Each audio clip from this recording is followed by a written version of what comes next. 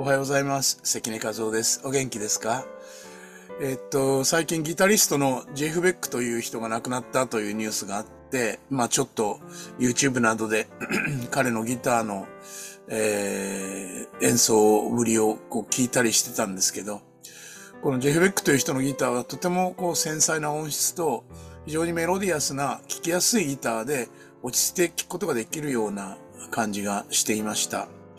で、特にこの方の作品の中でロッド・シュアソというあ人と一緒に、えー演奏している People Get Ready という曲があるんですけど、それが私とても好きで、まあこれはあの、いわゆるゴスペルソングですけれど、とても気持ちよく聴くことができるなと思いました。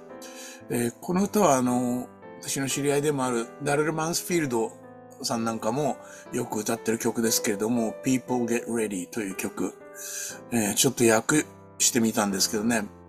さあ皆さん準備はいいですか？いは準備してください。記者が来ますよ。荷物は不要です。乗るだけで良いのです。必要なのは進行だけです。機動車が音を立てているのが聞こえますか？切符はいりません。イエス様に感謝するだけです。皆さん準備はいいですか？ヨルダン行きの記者ですが、乗客をピックアップしています。海岸から海岸まで至るところで。信仰が鍵です。ドアを開けて乗り込んでください。みんなのために希望があります。神様に愛されている人は誰にで、誰でも。罪深い人たちには部屋がないかもしれません。自分たちのためばかりに人を傷つけてきた人たちには。主よ、そういう人たちに、そういう人たちを憐れんでください。乗り込むチャンスが少ないですから。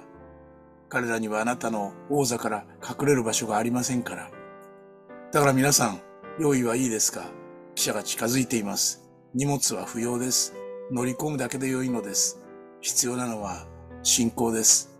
チケットは不要です。主に感謝するだけです。という、まあ非常に単純な、あのー曲ですけれど、えーと、こういう歌が、あのー心に残っているとすると、それはやっぱりとってもなんか大事なもののような気がしますよね。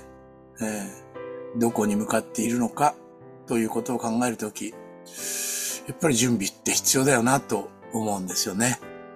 ちょっと、えージェフ・ベックという方が亡くなったというニュースを聞いて、この曲を思い出しました。えーっと、一応ここにサイトをあのプリントしておきましたので、ぜひ聴いてみてください。